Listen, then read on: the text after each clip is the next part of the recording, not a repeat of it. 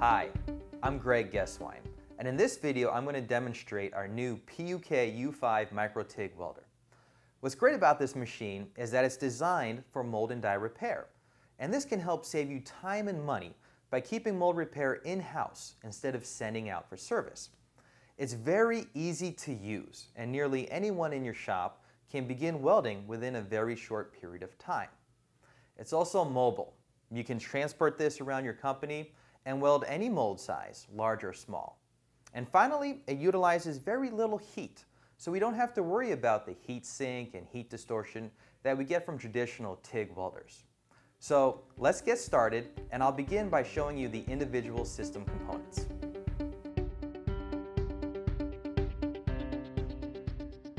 The PUK microscope has many features that make welding easy.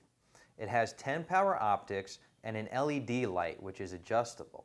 It also has a built-in shutter that gives eye protection during the welding process. The base is magnetic and it makes it very easy to maneuver the microscope around and you can connect it directly to your mold base or to your welding table. And finally, it's very flexible. If I loosen this knob right here, I can adjust in nearly any position. And we can even go vertical if you want to do an impress repair.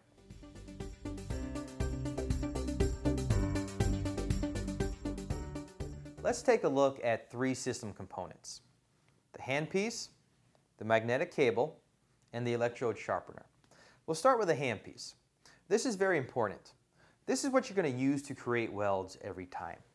And basically, we have a tungsten carbide electrode here and the handpiece is also going to transport argon gas so that when the weld is created, it's surrounded by an argon atmosphere, preventing the uh, oxidation. Now, it's very important to ensure that this electrode is sharp and clean in order to get the best results.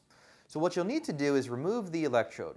And to do so, you need to slide this cap off, loosen this nut, and then you can remove the electrode. I then use the electrode sharpener, and this has an on and off switch right here on the side. So press that, and then apply the electrode at about a 15 degree angle and just spin it. Spin it until you get a very fine and sharp tip. At this point, we can replace the electrode back into the handpiece. And we want to make sure it's extending about a quarter of an inch outside of this ceramic nozzle on the front. That allows for the optimum flow of argon. Simply slide the cap back on. Now the handpiece is ready to go. But before we can weld, we must make sure that the magnet is connected to our piece, otherwise it won't weld. So connect this magnet directly to the piece of metal that you're going to weld. The magnet serves as the positive end of the circuit. The handpiece is the negative end. So when the negative and the positive make contact, it's going to start the firing process.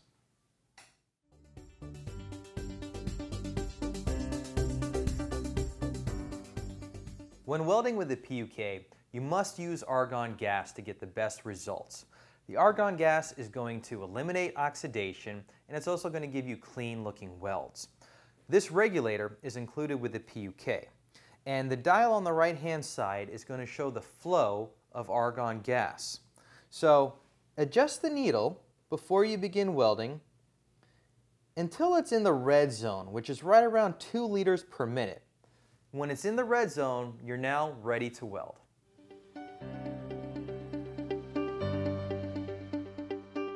So now let's discuss the touch screen. And this is one of the key features of the PUK system. This touchscreen has pre-programmed settings for mold repair applications. And this is going to make it much easier to select the correct setting for your welding application. On this touchscreen, we have settings for three different metals, steel, aluminum, and copper. And four different welding wire diameters, 10 thousandths, 15 thousandths, 20 thousandths, and 30 thousandths. And then five different surface applications for flat, edge, corner, rib, and three corner. So at the touch of your fingertips, you have access to 60 different mold repair applications. Let's take a closer look. On the top of the touchscreen, you can select the metal that you're working with and the diameter of your welding wire. And it acts like a wheel. So just swipe from left to right and you can bring up different metals and wire diameters. Let's say we're welding with steel 30 thousandths. There we go. Now the next step is to select the surface application. We have flat, edge, corner, rib, and three corner. Let's say we're doing a parting line repair. I'm going to select edge. And now we're ready to weld. About 90% of the time, this setting is going to be perfect. However, if you'd like to make minor adjustments, you can do so by adjusting the knob here, and then you can begin welding.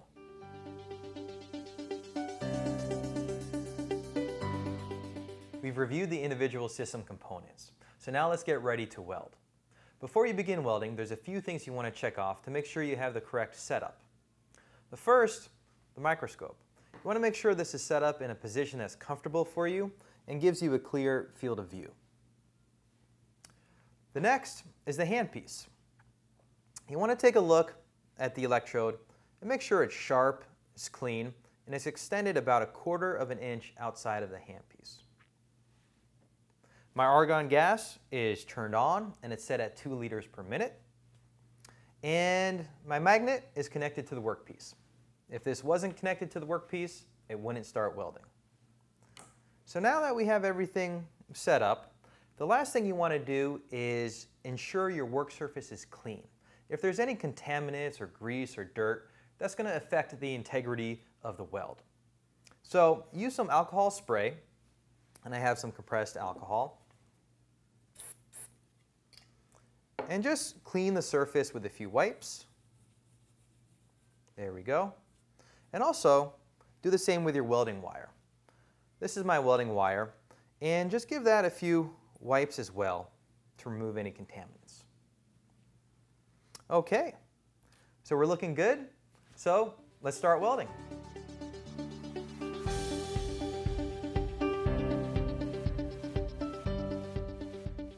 So now the machine is ready to weld. And if this is your first time using the PUK, you're going to want to get comfortable with a handpiece. So let's start by creating some welds without any wire.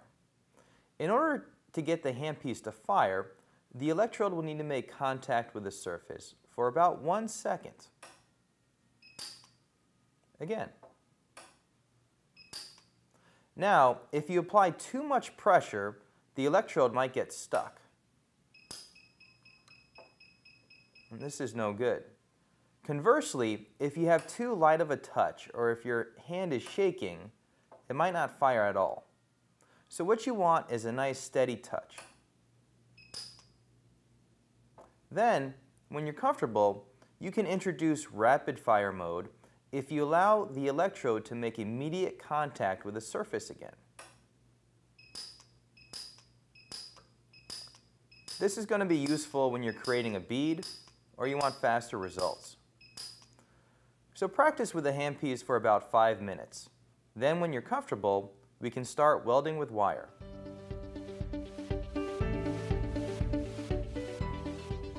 When we weld with wire, it's usually best to lay the wire flat against the surface, as opposed to a point like this.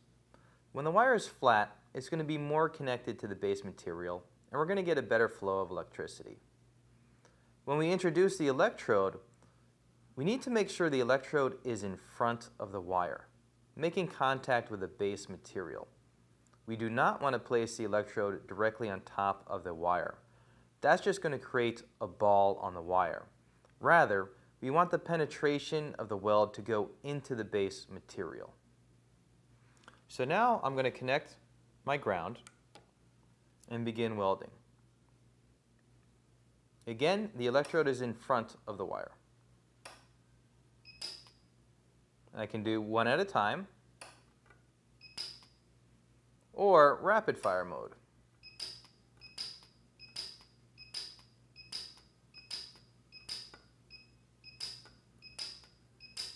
Notice how I'm keeping the wire still and I'm moving the electrode down the line. This is going to allow me to get nice tight beads here.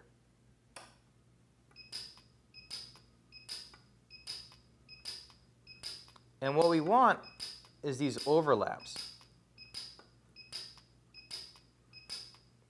These tight overlaps are going to allow for a complete penetration into the base material without any gaps.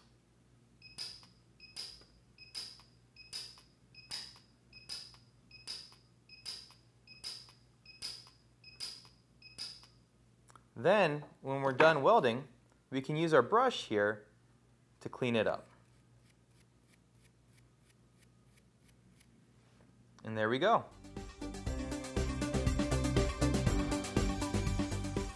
The technique for welding an edge is very similar to welding a flat surface. We want to lay the wire flat against that edge and bring the electrode to the front of the wire. The only difference is there's a little less material here to help us keep that wire still. So when doing an edge, you really need to have a, a steady hand. I'm on my edge preset, and this is 15 thousandths diameter wire. So let's do a few welds.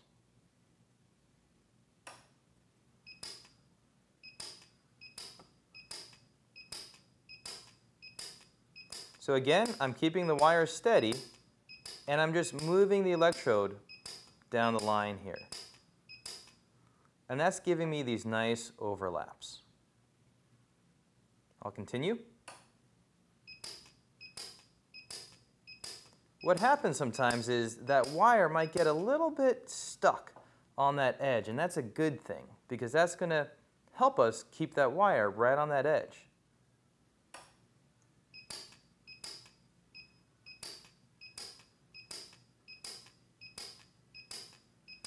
And this preset is really a great setting for this application. So there we go. Let me brush that off so we can take a look. But yeah, that's a nice, I got some nice coverage there over both edges. Then the next step would be just to grind that down and that, that edge should be repaired.